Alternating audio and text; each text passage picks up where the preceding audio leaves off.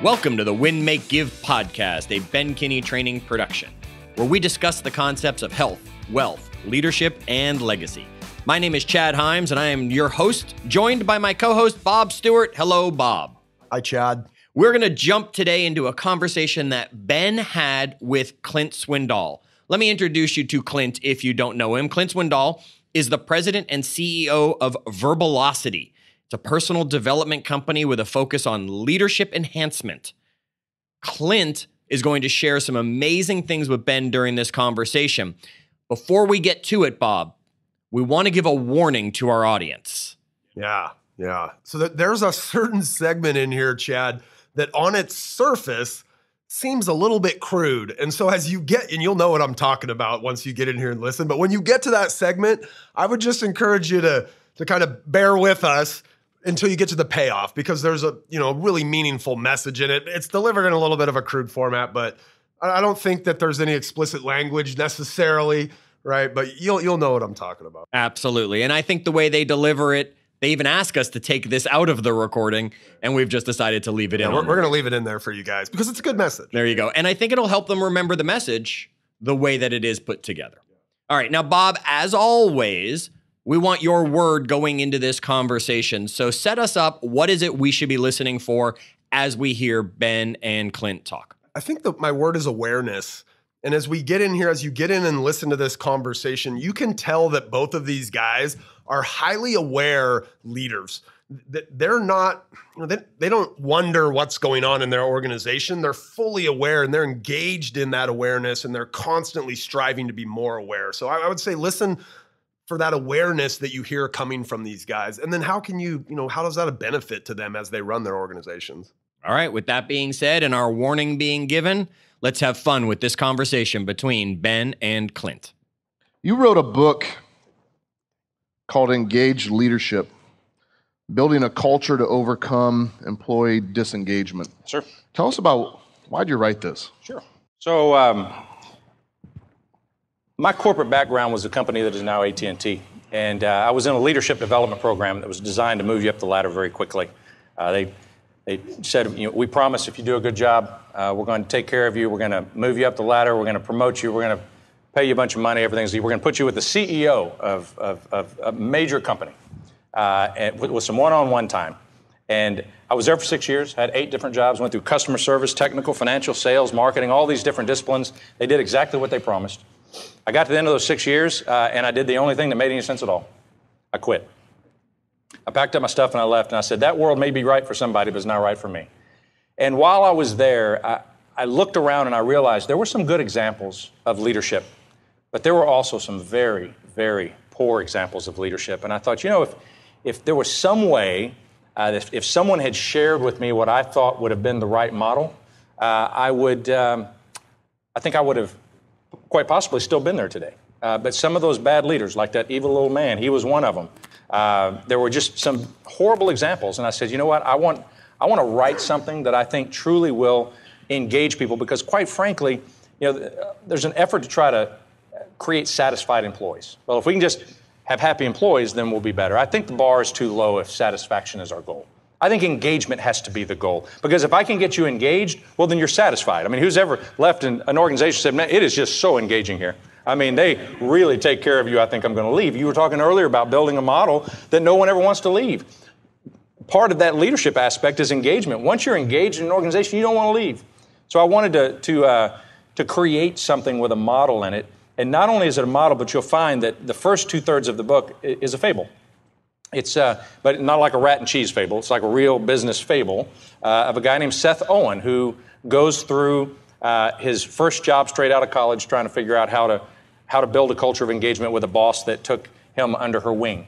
Uh, and 80% of that first year of mine in corporate America uh, is me as Seth Owen in that book. So uh, you'll read through that book and know uh, that it's real. The, the other 20% is the stuff I wish somebody had taught me. And so I just included that in the book to say, now to me, that's a complete model. So that was the, that was the goal. I didn't share this with you, but I spent the first six years of my working adult career working for the same shitty company. I worked for AT&T. I survived their split off when they broke into four business Sure, components, sure. wireless, broadband, core Yeah, yeah. services, and so on. it was a horrible place to work. It was like a hierarchy of bosses and titles and 4,000 VPs. And uh, Politics, run them up. I got laid off twice there. My joke always was I got canned more than tuna. because literally every time they wanted to adjust the stock price, they, they would let us go. Yeah. And then like turns out they needed our department and they'd hire us back six months later. Yeah. It was chaos. Right. My boss who's um, he was a great boss. He was a five foot nothing uh, Italian guy who had one job, which was working at AT and T TCI for his entire career.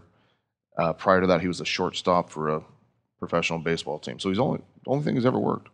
My last day at the company was the day that he was laid off. They laid him off. He'd worked there since 1960 something. And he was two years away from retirement. And when- when they laid him off and they and they kept me, I knew that this was not the company for me. Yep. Right? Yep. And I left because there wasn't no leadership there. Yep. It was just corporate hierarchy. That's right. What do you think uh, makes a good leader? I think uh, compassion, uh, which is one of the things that has been so impressive for me standing in the back of the room this morning, listening to what you were doing. That uh, the changes that you want to make, and as you know from AT&T, if there were ever initiatives that were being rolled out, it was to it was to uh, somehow benefit an individual. Because if it worked, they were going to get promoted. Uh, if it worked, they were going to get a big, big bonus. Everything about that model uh, was about self-preservation. Uh, and I believe, quite frankly, that what people want today is they want compassion. Uh, they want consistency. They don't want that boss that bounces all over the screen. They want transparency. They want real. They don't want to feel like uh, the person that they see standing here is any different than the guy out in the hallway. And I think too often leaders believe that's two different things. My follow up book to engage leadership is a book called Living for the Weekday, uh, because I believe one of the challenges is that we, we have a five day countdown to a weekend, uh, as though this two day respite at the end of the week is somehow going to make everything better. I believe that the most successful people I have encountered in this lifetime are those who found a way to look forward to Monday as much as they look forward to Friday. And so that they, they don't, don't get me wrong, I love my hobby. I love the weekend, uh, but I don't count down the days to get there because I'm doing something that I truly am passionate about and I enjoy doing. Uh, and so, and it gives people an opportunity to realize that the guy that stands uh, at the back of a firebox uh, on a weekend uh, smoking brisket uh, is the same guy that stands on this stage. Uh, or someone who sits in my living room is going to say, that's the same guy that I saw speaking to 7,000 people. Same guy in my living room as I am on a stage in front of 7,000. I think that's what people are looking for from their leaders as well. They want to know that they're real, they want to know that they're transparent, and they want to know that their leader actually has some sort of compassion for them. That it's not just, what can you give to me? I'm going to pull everything I can out of you. I'm going to drain every ounce of, of your knowledge and energy to make my company successful. I think they want somebody that says, you know, if I'm going to give that much, I want to know that you actually care. That if I walk in the office and for whatever reason there's something bothering me, that, that I have a boss that might actually walk over and say, Clint, is there something bothering you today? You don't have to tell me what it is. I just want you to know if you need something, I'm there for you. And I don't want to get in your personal stuff if you don't want to share your personal stuff, but I just want you to know I hope everything's okay. You know, sometimes we have people who come into an office and they drag themselves in and they've gone through a major loss in their life, and at some point they go, You know, my boss doesn't even know because my boss has never even noticed that I'm not myself. Because quite frankly, he or she just doesn't truly care. I think they want compassion. Uh, You know, a good leader looks for cues. I, I, I have a strong group of people here that are very successful and driven, and uh, what if I ask them how they're doing, and I should be asking them tell me something good, but uh, I didn't, and they say it's fine, I know it's not fine. Right, right. Right. Right. When somebody in your organization says, "I'm fine," you know they're not fine. My first question is, "Have you eaten anything today?" Because there's no negotiate, negotiating with hangry, yeah, right? absolutely, Yeah. absolutely. After I know that they've eaten, then I can dive in and see what's really, really, really wrong- wrong. Negotiations take place at nine in the morning or one in the afternoon. Yeah, that's it. Because That's they have to either just eaten breakfast or lunch, one or the other. Yeah, we were talking yesterday. I said, I'm going to have you up at the glory hour right after lunch. And we both looked at each other because we know what that means. He's like, oh, man, I, I, as long as they're not eating, I said, don't finish that sentence because I know exactly what you're going to say. And he looked at me and I look at him and I say, it's Mexican, food.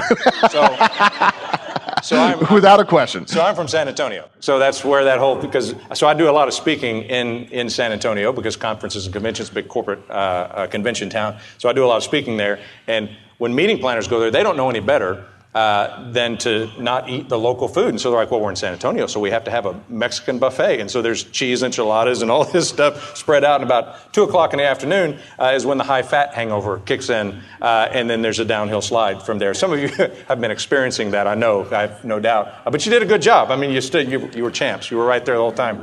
Uh, so yeah, I, there's no, no question. Yeah, uh, we both we both knew that. Yeah, yeah and I apologize no, for it. No, no. You you said something last night. You said that I, I go into organizations and I survey their, their people or, or whatever, and, and, then you identify a problem. Yep. And then you coach and mentor them over the year, and then you go back and you give the yep. same survey. Yep.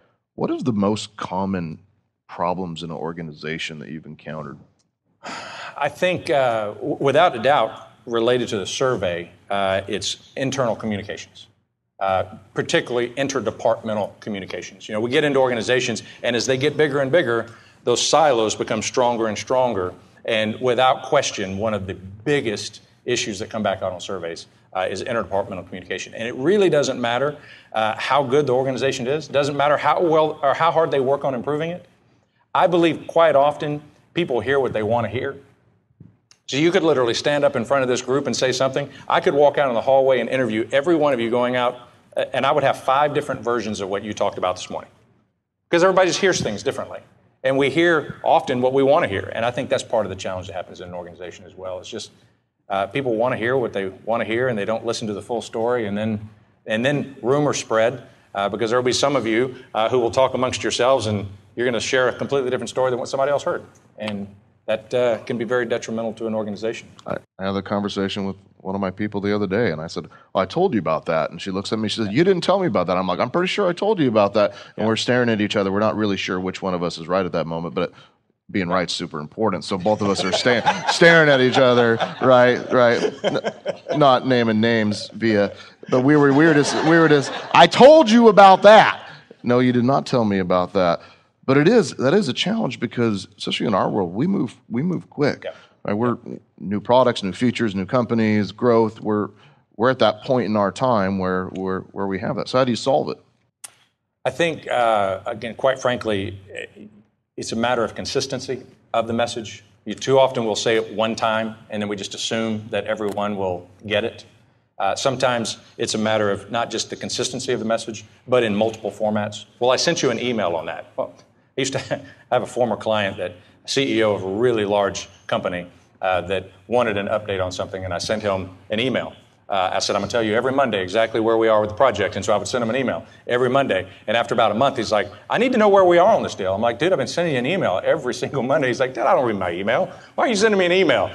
And uh, I said, You want me to send you a text? He said, I don't, send, I don't read my text either. So often it's a matter of having not just the consistency, but a change in format of that message because everybody gets the message differently. Some people prefer email, some people prefer a phone call, some people prefer a text. Uh, so I think it's a matter of changing up the delivery of that message as well. I run into that problem as a leader here too because I'll start every meeting about the same way. I'll talk about our mission, vision, and values, and I'll jump into the value of home ownership. And when I do my classes, they're going to hear me say the same thing. And I think some people feel like I already know this stuff, yeah. but they aren't living that stuff, right? right? They're living that stuff. Their life would be in a different spot. So we have to continue to say the same exact thing over and over, over again. And over and over. You and me were talking about uh, buttholes last night. Can you can you like buttholes? Oh, buttholes. Oh, yeah, sure. sure. Yeah, we had a yeah. long conversation yeah, about did. buttholes. We did. And sure. And I was I was laying there calm down. I, I, was I was laying there last night and I was thinking about these buttholes, and I thought that that's a really that's a really profound statement. That that is a profound concept. So before I end up on uh, some sort of a news organization slash in my HR department, will you help me recover from that statement? Sure, absolutely. And Chad, if you can cut that part out of the podcast whenever you, yeah, you splice that right, out or yeah. whatever, yeah, that'd be good. Uh, don't need that in there about Ben and I talking about buttholes. Uh, but but we were. But we were. Yeah. We, indeed, yeah. it was true. Yeah. So my my my my observation uh, has been, and we talked about this last night, that some people they start down a very positive road of you know uh, it, should be a good day today, uh, but it's supposed to rain this afternoon. They can't stop with the good. They have to. You have that, that conjunction of the but You know, so you're, you know, it's, it's going to be a great day, uh, but it's going to be windy this afternoon. Uh, it's finally going to stop uh, raining tomorrow, but it's going to be humid this afternoon. I mean, it doesn't. I, I, hope you have a good holiday, but I know you're going home to your family, so I know what that usually means. It's like they can't stop with the good. They they they have to put a but in there. I said it's like they're walking down the walking down the street and everything is good, and they're saying something good, and then they fall in the hole. Well, it's a it's a butthole. Because they're walking along. Yeah. Everything's good, but, and they fall in the hole. So the point is, you need to avoid the buttholes. Yeah. So, indeed, last night, we spent a great deal of time talking about buttholes. So, Yeah. and, and the potential title of my third book is going to be Avoid the Buttholes. because of the double entendre there of there's going to be a chapter about avoiding those buttholes too that, Yeah. that cause grief in your life. yeah. Just one T. One T, exactly. One T. Yeah. One T. It's, it's, it's avoid the buttholes, one T. Yeah. Indeed. Yes. I have a fair amount of critics in my life, and, and I have a lot of them come up, and they'll they'll be here today. You did a really good job today, Ben. But But right, they're going to fall into the they're butthole. fall in the butthole. Yeah, Exactly. yeah. They're going to point out what I missed or what I forgot or yep. or I forgot to mention somebody's name or Yep. Mm-hmm, whatever that might be. yeah. So how do we avoid falling into that butthole? You know, it's interesting. Just like I was sharing other things that my wife and I struggle with every day, that too is one of those. Uh, as I'm a writer, uh, and so uh, I'm regularly either writing a script to do a video or doing something, and I literally have to stop myself because I will write it that way and have to stop and use another word or completely restructure a sentence so that there is no need for a conjunction in the middle. And often it's a matter of literally stopping that, that point before you move on to the next. You did a great job today, Ben. Period. If there were an opportunity for you to improve, I assume you'd want to know what it is. Well, yeah. I would probably have stayed on the stage instead of getting down, or I would have stayed down there instead of going, whatever the improvement is. It's amazing to me how most people just can't leave well enough alone. And there's often there's there's something good on the other side of the of the butt. I mean, there's there's a, a conversation to be had there. But too often when we get to the butt, everything we said before it doesn't matter. You did a good job today, Ben, but man, you really should have stayed down or whatever. Well, you don't hear you really did a good job today. You're too busy bowing up trying to say, well, I didn't see you up there doing it, you know, and all of a sudden we become defensive. I think it's literally a matter of changing our vocabulary. By the way, yet is not a bad word to use in place of but. Yeah. You did a good job today, Ben. Yet there probably were some things that you know you might want to consider doing differently. Yet is a softer word than but. The ultimate ultimate solution is to completely eliminate it, put a period right there, and just don't even bother saying what's on the other side. It's going to be a nice day today, but it's probably going to be humid this afternoon. What what is the value in sharing that? Just stop the comment right there. When you get to the point where you want to throw in a butt, ask yourself if there's actually value on the other side of that statement. That's a really profound And statement. often there's no value on the other side of the but. Because if you're with a good, transparent leader who wants to improve, if you said, "Hey, Ben, you did a good job today," and you just went silent. I'd probably say, "Thank you," and then I would say, "What could I have done better?" Yep. Yep. Right, and I would have invited that Sure. that input back at them because I do care about what I could have Yeah, done yeah. better instead of the. But you probably could have dressed up at least one time this year, Ben. right, or so, something like that, right? Yeah. Well, and you know, interestingly enough, if you stop the sentence, you did a great job today, Ben. Either you're going to say, "Well, is there anything I could have improved on?" or you might say, "But you know, maybe I should have dressed a little." You then recognize it versus the other person being the one to throw that in. You did a great job today, Ben. And then Ben says, "Yeah, maybe I, I probably should have done this or do because you know, I mean, we often know what we could have done better, right? We just don't need anybody telling us. That's all the but does. It's somebody telling us usually something that we already know.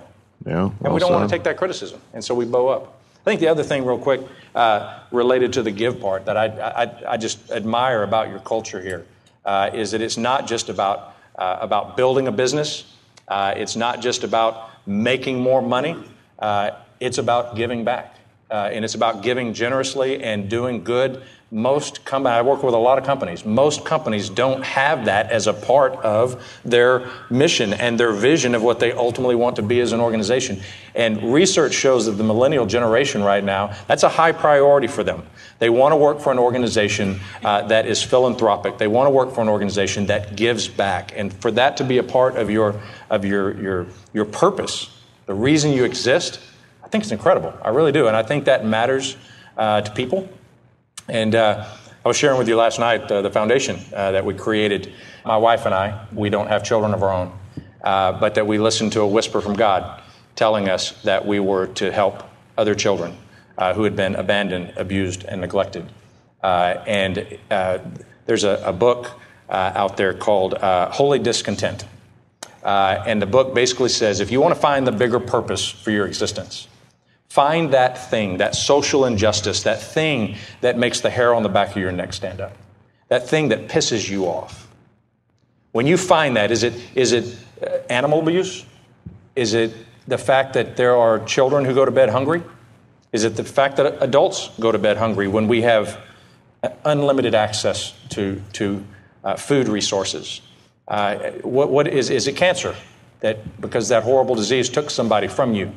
Uh, what is it that makes the hair on the back of your neck stand up? When you figure that out, then you have found your bigger purpose. And when you start contributing your time, your talent, and your treasure in some way to help overcome that challenge, then you have indeed started fulfilling your purpose. I think that's part, and that's part of the living for the weekday model as well. And I think some people never find satisfaction in their life because they, they do all the other things. They're, they're pursuing business, they're, they're growing, they're doing well, they're making money. They may even be giving money away, but they don't have that connection to say, This is important to me, though. Rather than, well, I support all, anybody that calls and asks. That's, that's who I stroke the check to. No, what's your passion? And when you know what that is, then I believe that you have figured out why you're down here on this earth. And so, for my wife and I, uh, it's knowing that there are children who have been abandoned, abused, and neglected. So you started a foundation. We did. What's so, it called? Uh, it's called the First Chance Foundation. What's it do? Uh, so we financially support organizations that are on the front line of dealing with children who are abandoned, abused, and neglected. We have a a small, uh, I say small, it's a, they probably have a million dollar a year budget uh, for abandoned, abused, and neglected children on a ranch not far from our house. And when we were first moving up into the Texas Hill Country north of San Antonio, uh, we went to look at a piece of property and a house. Uh, it wasn't what we wanted, but pulling out of the parking lot instead of going left, I turned right. Kind of a story I remember hearing you talk That's about. right. I turned right as well.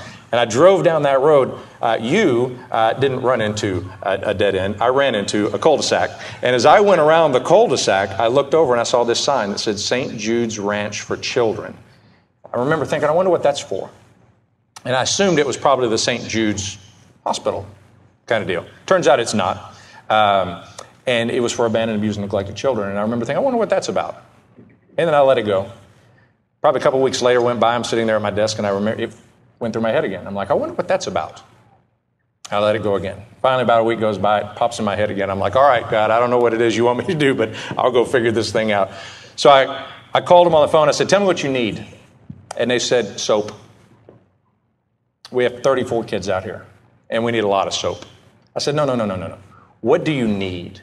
Tell me what, if you got something, what would you need? She said, soap. We have a lot of dirty, dirty kids. And I'm like, apparently you're not getting it. I will be there shortly. I hung up the phone. I hollered at my wife, Heather. I said, Heather, get in the truck. We're going to St. Jude's Ranch for Children.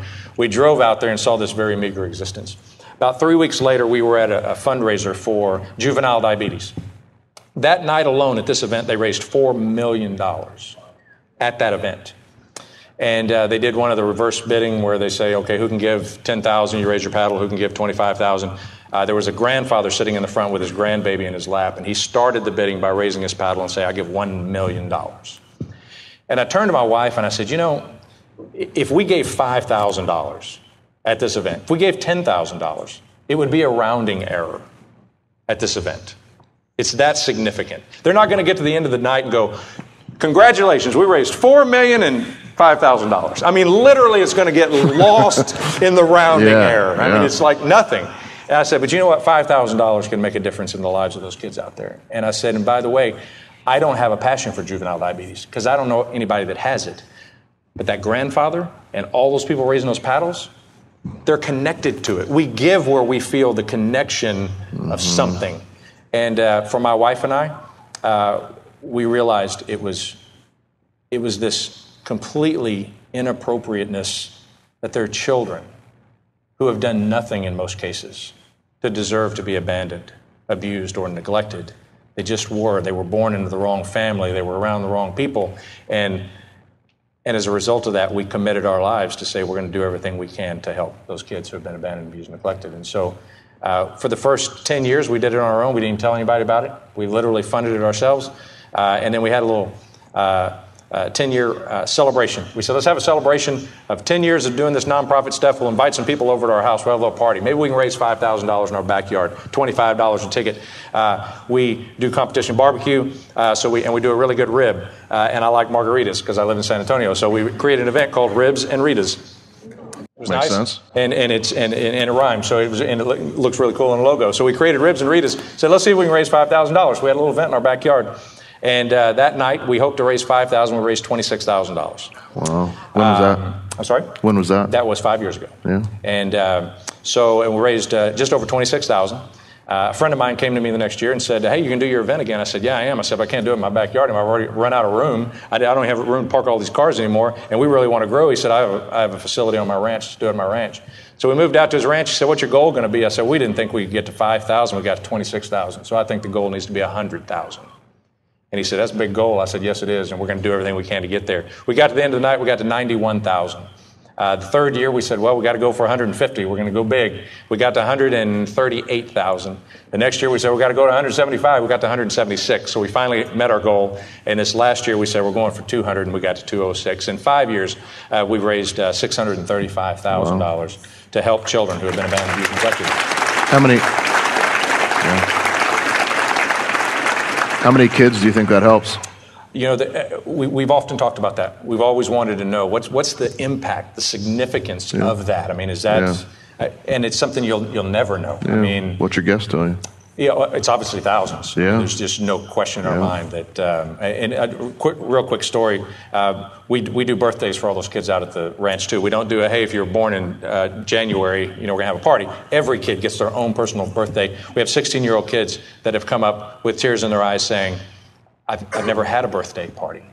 Literally, no one has celebrated my birth in 16 years. Wow. It's just absolutely heartbreaking. And so one of our commitments is, uh, and when I say we, I mean my wife, uh, I, I, go find the money, uh, she spends it. Some of you may be familiar with that model. Um, but I go, I go raise the money, and then she spends it as the kind of, she's the executive director of the, of the foundation. Then she goes and, and is on the front lines with those folks uh, helping uh, support all those things. And one of the things she does is she does these birthday parties for these kids. One year, a kid had asked for a, a, a pencil set uh, to, to draw drawings and a pad and all that stuff. She get, gets him for him for his birthday. About a month later, she goes back to the ranch for another birthday in the same house. The little boy was there. He walked up and he handed my wife this little portrait that he had painted. He was a kid, maybe 12 years old.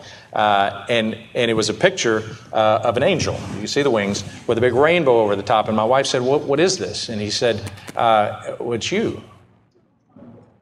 And she said, Well, what do you mean it's me? And she said, Every time you come to our house, all I see are rainbows and angels. Wow. And he gave that to her. So after our, our first year, we had uh, the, the fundraiser. She said, I want to put this in a frame and I'm going to give it. We're going to pull a name out of the hat. We're going to give it to one of the people who came and supported us in our first year. So we pull a name. This guy gets it, takes it home. A month before the event comes around uh, the, the next year, he calls me and he says, Hey, Clint, I know you don't do a, a live auction. We do now, but at the time we didn't do a live auction. He said, I know you don't do a live auction, but I want to bring this back and I want, to, I want you to auction this off. But here's the deal it's a five year auction. Whoever gets it has to bring it back, and we're going to re auction it the next year. And whoever gets it, they get to keep it for a year, but they have to bring it back, and we're going to do that five years. At the end of five, year, five years, it goes home to you and Heather. I said, man, what a deal that is, man. We'll, we'll raise $1,000 a year, make, make $5,000 off of some little kid's painting. That's awesome. First year, it sold for 10000 The second year, it sold for 11000 the third year it sold for 14,000. And my largest donor was sitting in the front this year, and it got to 8,000. I couldn't get any higher. I do the auction. I'm not an auctioneer, but that's one of the things that we say. We don't want anybody that stands up front going, hey, hey, hey, hey, hey, hey, hey. It is us. We started it, and we're the ones on the stage. And I say, I don't know how to do be an auctioneer, but you'll give me two thousand. Anybody give me three thousand? 2,000, 3,000. I got 3,000. That's it. And that's as good as my auctioneering skills are. Uh, and uh, I got to 8,000. I couldn't get anybody to go higher. And so I said, well, we're going to sell it at 8,000. And, and, a good friend of mine uh, in the front raised his hand. He said, um, he said, I think that little painting is worth $15,000. And so I thought, well, he wants it to go for more than it went last year. He was the one that bought it for 10,000 the first year. And I thought he's, he's, gonna, he's just going to buy it for 15,000. He said, I'm going to match up to 15,000 whatever you can get these people in this room to donate, $100 at a time or 500 or whatever their ability is, whatever you raise, I'll match it up to 15,000. I said, okay. First hand goes up. I said, yeah, how much you want to give? He said, I'll give you five. I said, 500? He said, no, 5,000. I said, okay. Another hand went up. He said, I'll give you five. I said, 500? He said, no, 5,000. About that time, my friend got up to walk to the bar. As he was walking to the bar, I said, hey, his name's Ronnie. I said, hey, Ronnie, uh, and it was a group about this size, maybe a little less, about 300 people. And I said, hey, Ronnie, uh, before you go get too far, uh, did you say you were going to match up to 15,000? Or did you say you were going to man up and match up anything that is offered in this room today? I know his ego is pretty big. And he turned around and bowed up and he said, I'll match anything you raise in this room tonight. We stopped at 30,000. He matched it at 30,000 with everything that had already been raised. I think that little kid's painting has raised over 96 thousand wow. dollars. That's awesome. That has gone back to take care of people that were in his. Yeah. So I, I tell you that story uh, just to say that the significance of the give part of your culture is so incredible. And by the way, it, it's not just a matter of what your organization gives. Every one of you in this room, you have a passion, you have a community, you have an opportunity. My wife and I just started it, and nobody came and told us we needed to start something. We just saw a passion we saw a need, we saw a hole that needed to be filled, and we stepped in the gap, and we started trying to help these kids that have been abandoned, abused, and neglected. And every one of you in this room have that ability in your own communities. Man, I just I encourage you to take that give part of your culture and just make it a part of what you do every day, and just continue to give back to those in need. I just again. I, am so impressed by, by what you guys are doing and, and your event every year where that, those, those dollars are going to support the charities that are near and dear to your heart. Uh, it's awesome. Uh, First Chance Foundation, by the way, you will be impacting a, a lot of kiddos, uh, and and not just in Texas. We don't just support in Texas. When we get a need that needs to be filled, uh, we we took care of an entire elementary school in Illinois. My wife is from Illinois, and she had a friend that called and said, you know, we we're in a low. I, if if you ranked all of the school districts in the state of Illinois, they were absolutely at the rock bottom performance-wise. Well, they had high poverty uh, the kids were coming to school, they were hungry. They, to your point, it's, it's, hard to negotiate when you're hungry. It's kind of hard to learn uh, when you're hungry too. Uh, so they were low because the kids weren't eating enough. They were coming to school in the same clothes every day. You know, the kids that are on uh, uh, uh, some kind of a food program, many of them, they literally, I was on the, for, on the board of directors for a, a food pantry, and they're kids that literally will eat their last meal on Friday in that free program, and they don't eat again until Monday morning because mom and dad don't have anything at home for them to eat.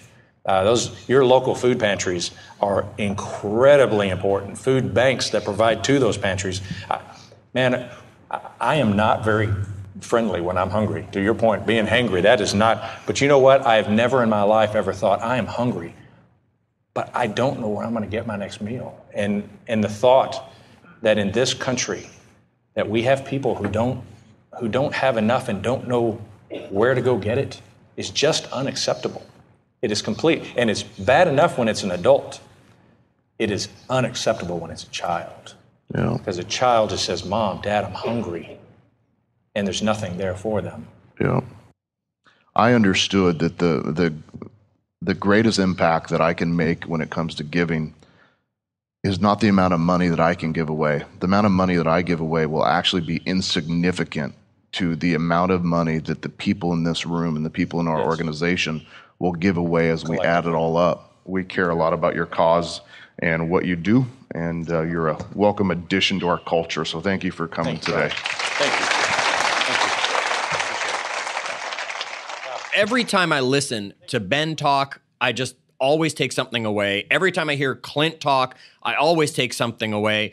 And then I put the two of them together for this opportunity, Bob, and of course, I'm going to take something away from it. Yet before I jump into it, what was your takeaway from this conversation between Ben and Clint? So you and I have we've listened to this prior, and, and, this is not the first time you and I have heard this, but we kind of both came away, I think, with something similar. And then look, there's a lot to be had in that discussion.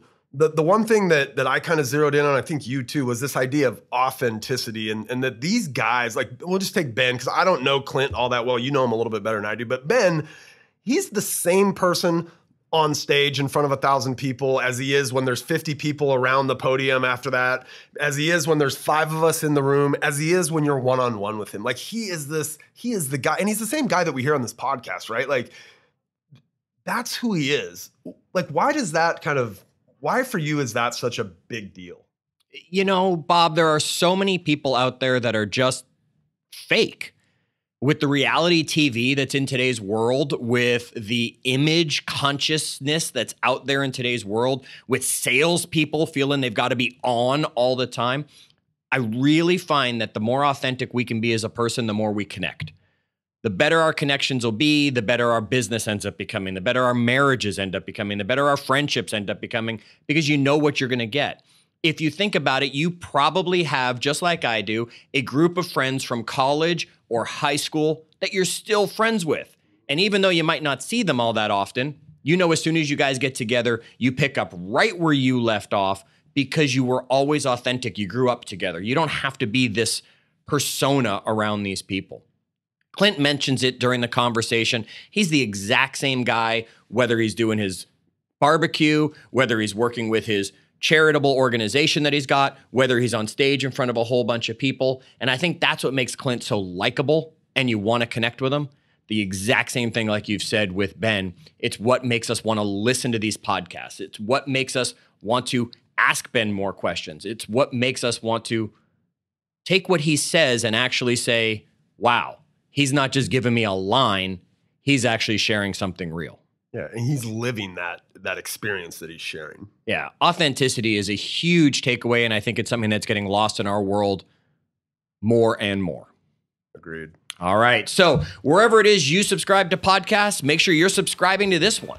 And if you haven't been able to find it anywhere other than a link somebody maybe sent you, you could visit the winmakegive.com website, or you can always just pick up your cell phone and text the word podcast to 59 559.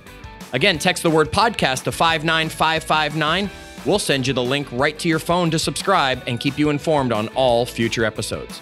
Until the next one, remember do good.